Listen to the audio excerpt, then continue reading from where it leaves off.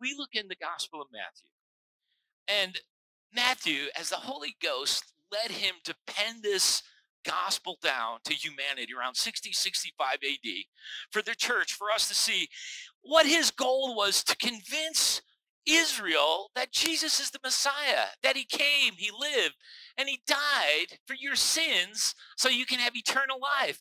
But meanwhile, you got to suck out the rules and regulations of the law, which is not easy. If you grew up in a system of right and wrong and of merit, and if you grew up to say, if you live this way, this way, this way, this way, you go to heaven, and if you do these things right, you know, bam, you're you're good to go. There was no personal relationship with God the Father through his son Jesus Christ. There were these rules.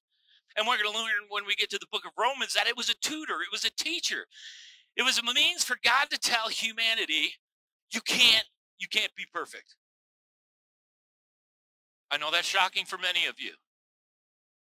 You can't be perfect. When you look in the mirror, you're not perfect. That's all there is to it. And so that's what the law was. And that was the hardest thing, especially the religious heat. Now, the religious heat are the Pharisees and the Pharisees and the Sadducees, and some of the priests. Their goal was to keep their thumb on the people, you know, and, and, and, and kind of control the religiosity. And Matthew is doing his best to say, here's the deal, guys the law is done. So let me tell you about it. Let me, uh, as I said so many times, it's the preponderance of the evidence that God is God, that Christ was God in the flesh, and that it's not the measuring scale, the balance, it's Jesus' blood. That's it. There's nothing you can do to earn salvation that he paid it all. And so as we go through the Gospel of Matthew, what we find is one, they try to trip Jesus up. That's not going to happen, but they give it their best shot. Last we looked at the beginning of chapter 19, it says this verse 1 of chapter 19. When Jesus had finished saying these things, he left Galilee and went down into the region of Judea, east of the Jordan River. Large crowds followed him where he had healed their sick. Some Pharisees came and tried to trap him with this question Should a man be allowed to divorce his wife for just any reason? Jesus repeats, if you have a red letter edition Bible, it says, Haven't you read the scriptures? Jesus replied. They record that from the beginning beginning, God made them male and female. And he said, This explains why a man leaves his father and mother and is joined to his wife, and the two are united into one, since they are no longer two but one. Let no one split apart from God what God has joined together. Then why did Moses say in the law that a man could give his wife a written uh, notice of divorce and send her away? They asked. Jesus replied, Moses permitted divorce only as a concession to you dingbats. Uh, but it was not what God had originally intended. You know, and I tell people, I mean, I, I've, I've sat in my office with people wanting to get a divorce, people getting divorced, people, you know, using throwing the D word around like it's uh, you know, some kind of a frisbee. But the reality is, God never wanted divorce. Divorce was never in His plan. Did He allow it? Yes, He did. Did He ever plan it? No. All of you who have ever been through a divorce, you never got married and said, oh man, in a few years, this is going to go to hell in a handbasket. We're done. I'm in the five year plan. I have never, anybody in their office has ever said that. All they have told me is they go, never thought it would happen. I never knew it was going to feel like this. I never knew this was going to affect me, my kids, like it has. Didn't see it coming. So it's, you know, you know, it's, you know, I never defined marriage last week, and uh, maybe I should have. We're gonna we're gonna move on to the next here, but I, I never defined marriage. and I think maybe in this day and age where intimacy is thrown around uh, like soccer balls. Um, I should define it. Because marriage was defined by intercourse.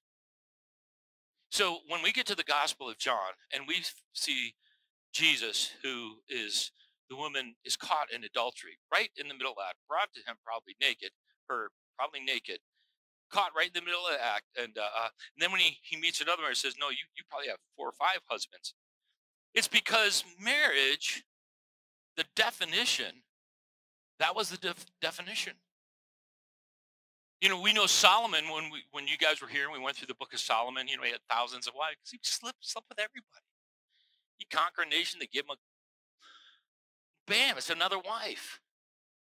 So it's funny today we we we see that you know when we looked at Hebrews chapter 13 it said the marriage bed is undefiled it's, it's because that's what the definition was you guys when you were here over Christmas and I taught about the birth of Christ and the reality was was was that when um when Mary was pregnant and, and Joseph goes man I didn't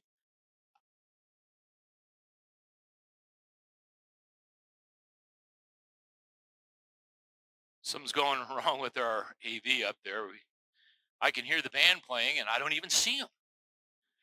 It's like a miracle. Yeah.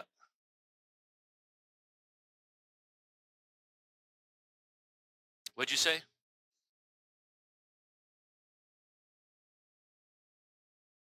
Oh, first of all, we are blessed to have you guys. We love our band. So half the people come for you. Well, maybe 90% people come to hear the band. I'm an afterthought. Anyways, so here's the deal. You guys remember that uh, um, Joseph was very concerned. And Joseph thought to himself, you know, I'm just going to leave quietly in the shadows so as not to disgrace Mary. Remember, he's like, I'm because I I have no idea what happened here. And that's when God shows up to Joseph and says, Joe, man, it's all, it's all good. Uh, the Holy Ghost came upon her. and She's conceived the child, and the child is, is going to be God's son. You're good. You understand that, you know, the, the tradition of marriage was that they would actually bring out a very nasty sheet the night of their marriage to prove that the woman was a virgin. Because that was the definition of marriage. Today, uh, it is so cloudy. There's no commitment. It's so cloudy on what it is. Now, here's the good news, you know, God always forgives. You know, people have been doing this, doing that stuff for a long time. right? You're like, oh my God, I got 20 husbands. I didn't even know it. Um, God, you know, so he, he but you got to understand that was his definition. A man and a woman become one flesh. They're united into one. They're married. That was the definition. Still God's definition. We've kind of messed it up a little bit. But do you see how crucial and how important that is? That's why God says here, because because we were never, God never created us to give ourselves away to everybody. He didn't create us that way. One man, one woman. So Moses permitted divorce. They're trying to screw him up. Let's go to verse 10. Jesus' disciples then said to him, If this is the case, you know, he said, it, it, it is better not to marry. And uh, uh, red letter edition, not everyone can accept this statement. Jesus said, Only those whom God helps. Some are born as eunuchs, some have been made eunuchs by others, and some choose not to marry for the sake of the kingdom of heaven. Let anyone accept. Let anyone accept this who can. And at the end, he says, you know, if you can abstain, great. If not, I say, if not, get married. That's the way it goes. Anyways, that was last week. A little bit about marriage. But you see what I'm saying? You know, uh, uh, they're trying to trap Jesus. They're trying to say, "No, Jesus, you don't know it all." He's like, "No, no." And and he's he's Jesus is in the process of just totally breaking the mold of the law. Chapter 18, just probably days before, um, God talked to him, and said, "Let the children come unto me." Because in the Middle East during this period, well, for a long period, children are just unimportant. You know, you get them, put them to work, whatever, but, you know, they didn't have soccer games. They didn't have minivans. They didn't have like a multiple camel van. Moms didn't run them to the soccer field, baseball field, football field, basketball court, hockey, nothing. It was in a agrarian society. They farmed, they dug, they had entrepreneurs, and, and that was it. But Jesus is breaking this whole mold. And while he's breaking the mold, he's teaching a very, very, very important lesson to humanity, to his disciples. Because earlier he said, You need to come to me as a child. You need to come to me as a child. You know, not as an adult, not as a person that think you know it all, because you know nothing. You need to have the faith of a child. Um, many of you do your best to read this on your own, to understand this on your own. Um, people call me and go, Ken, I don't understand this whole thing about heaven and hell. I don't understand this whole thing about God choosing people, knowing that some people are going to go to heaven and some people are not going to choose him and they're going to go to hell. How could God make somebody, create somebody, say he loves them, and yet at the same time send them to an eternal separation to hell? How can a loving God do that? That does not make any sense to me.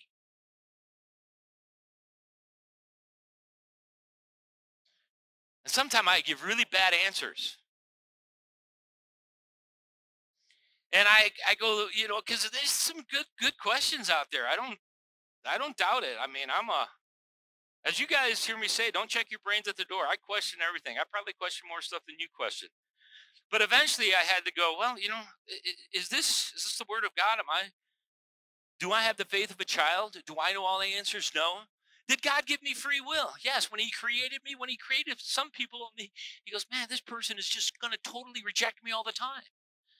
I mean, there was the dude in Lucifer. He was like second in charge. He was an archangel. He was second in charge. And Lucifer thought to himself, eh, I'm better than God. God said, No, you're not. Bam, gone.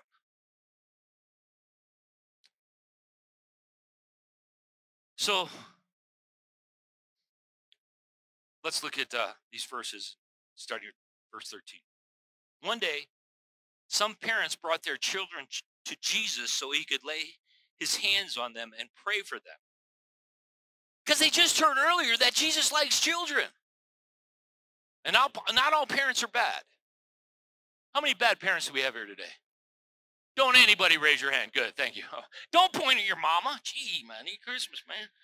Man, no allowance for you this week. Holy cow. You're walking to school and you're about 20 miles away.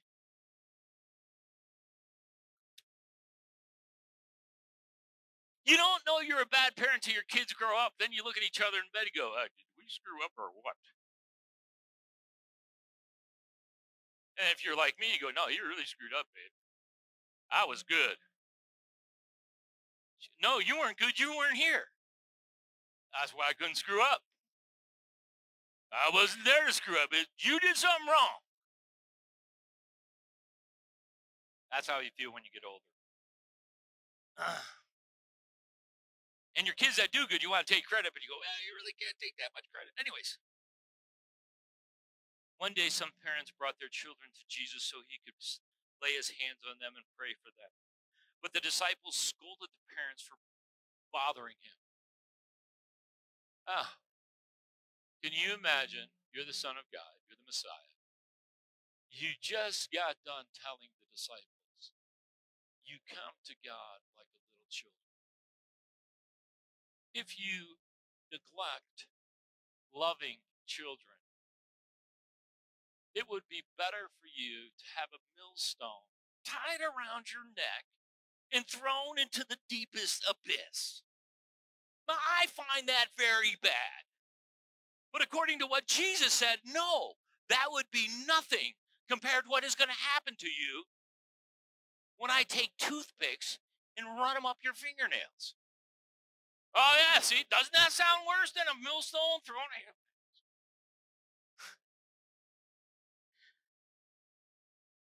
Do you see? He's like, it'd be like, did you not hear what I just taught about children?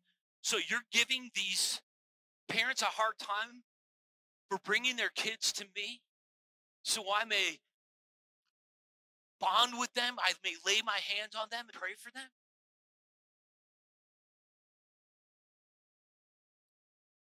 Jesus said, Let the children come to me. Don't stop them, for the kingdom of heaven belongs to those who are like these children. And he placed his hands on their head and blessed them before he left. Can you imagine this? The disciples, how quick they forgot. You'd think these 12 dudes would be sharper than that, but no, they instantly forgot. They're like, oh no, Jesus is busy. He's too busy. It's like, no, Jesus is not too busy. I am the Son of God. I love these children. And by the way, if you haven't figured out that you need to come to me as a child. That you cannot do life without me. You got to be like a child. You have to have, have to have this childlike faith. There is nothing you can do ever good enough. I just love you. I just love you. I just love you. All of us who have had children, we love them. When they screw up, we don't love them as much. We blame the other spouse. Yeah, you raised them that way. But we love them no matter what. I meet parents whose kids are incarcerated and they go, My kid was bad, but I love them. I love my kids. When I caught my kids in lies, I actually thought it was funny. Not proud of them, I used to say, well, good try. I shouldn't have encouraged him along those ways, you know, but I'm like, really? Do you think your mom and I, we did better than that? Try not to get caught. We love you. Right? When your kids screw up, they you go, what are you doing? Well, we love you. And, and sometimes when the more tragic things happen to their life, it's like your heart just goes boom, boom, boom. Did they not know that we love them? Do they not know that our heart hurts and we still love them? When they're going down a road that is destructive, alcoholism, drug addiction, all those evil roads that they go down, choosing not to be obedient to God, but to live some immature. Anyways, our hearts still beat and say, I love you. I love you. We went down and saw our daughter down in Rimrock and we go, Megan, we love you. We love you. and, and it's funny because when they go through the foolishness of life, they go, but we don't deserve your love. And isn't that what God says to you and I? When you finally recognize who you are, we go, we don't deserve the love of God the Father through his Son, Christ, God in the flesh. And God is looking at these people and he's saying, please just come to me as a child. Childlike faith that says, I can't do life without you. You know, uh, when you're a child, you don't go, oh, I wonder what I'm going to have for dinner. No, I never wondered. I just go, it's dinner time. My mom blew a whistle. Five of us showed up. We expected something, and we knew not to complain because that's all there was. We didn't get like a menu. Okay, this week that was it. We just loved it. A child. We came as a child. You know. Our, our when when when we were in danger, when we were in places where you know you would try to hold your dad's hand, but your dad's hand was was too big, so he held your hand. You know? Because my dad was a, was a little stinker. Because he used to hold my hand and swing me over a cliff. He thought that was funny. My mom did not think it was funny. I just figured it was a good time. I never expected for him to let me go. You know, hey, Ken, let's do this. Watch mom freak out. Woo! That was good, Dad. Let's do it again. Because he wasn't going to let me go. I was his son, I was his child. And isn't it amazing that God is teaching these professional people, a tax collector, fishermen, uh, entrepreneurs, he's saying, you need to not think of what you know. You need to know this that I love you. I love you. Matthew's letting all of Israel know he loves you. It's not about who you are. It doesn't matter if you're a Pharisee, a Sadducee, a priest, that he loves you and he wants you to have this relationship. Jesus was putting an end to religion. He was putting an end to the religious philosophy of the law that said this is man's made way to get to God. This is God saying, This is me coming to you. Have the faith a child. You cannot do life without Jesus. You got to come to me as a child. I don't know how many people in this audience have ever stopped and said, I just need Jesus in my life. It's just not a matter of heaven or hell, it's a matter of Jesus being in my life. It's Him restoring, healing soul. I believe that people chase emptiness because we all have little holes in our souls and we chase things to hopefully fill those holes. But I'm telling you, I'm here today to tell you only Jesus will fill the soul and will fill those holes. Somewhere along life, as an adult, as a young man or woman, my prayer and I invite you to come to God as a child. Let him hold your hand. Let him let him take you through things that you go, ooh, that was scary, but that was cool. See, that's that's being a Christ. You know, my my prayer as a as a pastor is always that if anybody ever is at a point in their life where they go, you know what? I have, I need to say, Jesus, I need you in my life. I need to cross a line of faith. Um, I need to let everybody know that I love Jesus. Um, I've done things in my life that you know I'm not proud of, but uh, I always say there there comes a time whenever it is that you go, I got to repent, and means 180 degrees. I need to stop this and start this. Maybe to be redeemed by God's love.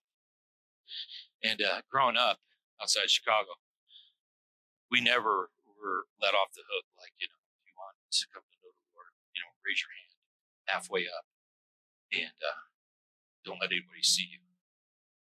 You know, it was always very public. It was like, okay, you want to become a Christian today, you want to say you're a sinner, need Savior, you're at a point in your life where you just need to change. They used to make us walk down the aisle and, uh, you know, you had to be a little bold. You had to be a little, like, God actually had to be working in your life because there's no way you were going to walk down the aisle be embarrassed. I was such a bad sinner. I used to walk down the aisle all the time. I'm like, oh my God.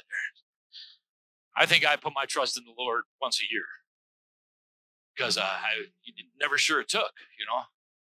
Didn't take that year. I need to do it again. Listen, give you 30 seconds. If you would like to say, Pastor, I, I need to I need to reconfirm my faith. I need to just put my trust in the Lord. I've you know, I'm screwed up. And uh, I I'm not gonna let you I don't want you to walk out of here today of the Holy Spirit. And this is how you know it's the Holy Spirit. Because you know you should go forward, but you really don't want to. And I'm just saying, listen, if you need to come up here, stand up here, I'll pray with you afterwards then then please do so.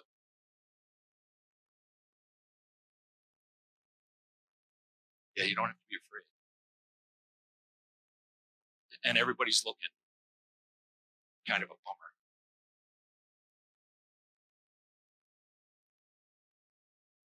It's a tough one. Sister. Anybody else?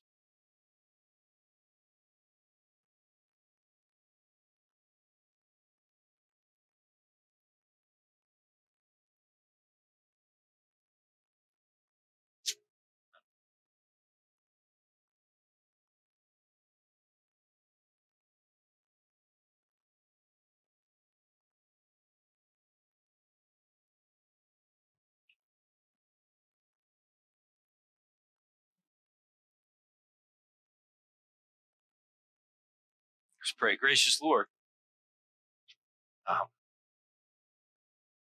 you work in such a wonderful way. And uh, thank you for the grace you give us through your Son, Jesus. And uh, Lord, as we each go our separate ways, as we uh, uh, give it our best shot to be the men and women that you want us to be this week, whatever profession you have gifted us in, may we do that 100% to give you all the glory. Um, may we always have thankful hearts. And uh, Lord, may we remember that this week uh, we just need to have the faith of a child. That you always have our best interests in mind and you love us. That's why you died on the cross for us. We love you. Uh, thank you for this beautiful day and uh, blessings on everybody. We leave this our request at the most level playing field there is, the foot of the cross. We ask this in Jesus' name.